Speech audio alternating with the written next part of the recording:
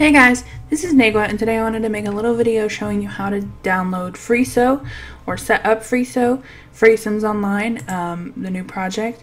So you're going to need these three files and I'll link them below and they're also linked in the forum.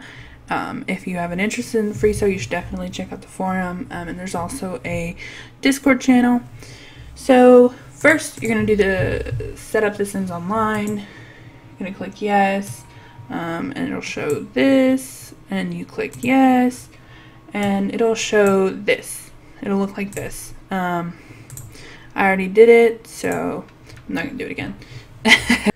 Then it will bring you to an installation screen where it asks you to make an EA account and you do the installation until it says enter a product key and you click cancel and it will tell you that the game is installed but needs a product key. So then you need this. It's called the dist. And you go and you extract files. And you might need um, WinRAR. So you should install, when you ins set up The Sims Online, um, it'll bring you to an installation page. Um, and it'll ask where you want to install. And you should, you should install in Drive C. If not, you can have problems. So you go into your local, you go into your program files, you go to Maxis, and The Sims Online. You just click The Sims Online, and that's where you extract your dist to. So you click OK. I'm not going to click OK, I already did it. Um, and that's done. So then you go and you extract your packing slips files. go to local, program files, Maxis, oh, that's Logitech, Maxis, Sims Online. You go to TSO client and there's this packing slips folder and it will automatically be there.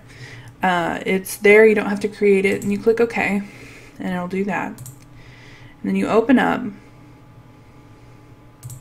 and you go to your files,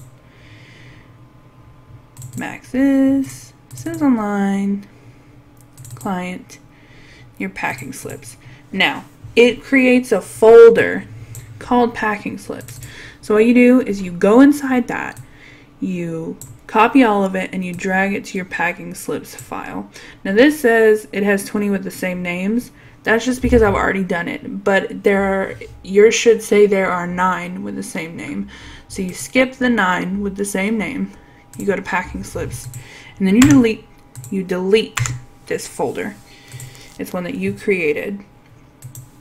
Now, in order to run Freeso, you go to you go back all the way back um, into the Sims Online folder, and there it is right there, right there, Freeso. Instead of running from the Sims Online shortcut that will show up on your computer. And after you click Freeso, you will have this, and it will load, and there you go. Um, wow, that is super loud. Sorry. But yeah, and this is where you create your sim and then you just join a server like that. Uh, so yeah, if this helped you, please leave a like and subscribe for more Sims videos. Um, check out Freeso if you haven't yet. Uh, I will link the forum below and I'm pretty excited. And I'm going to do a little free, at least one Freeso video. So if you want to see that, definitely check it out.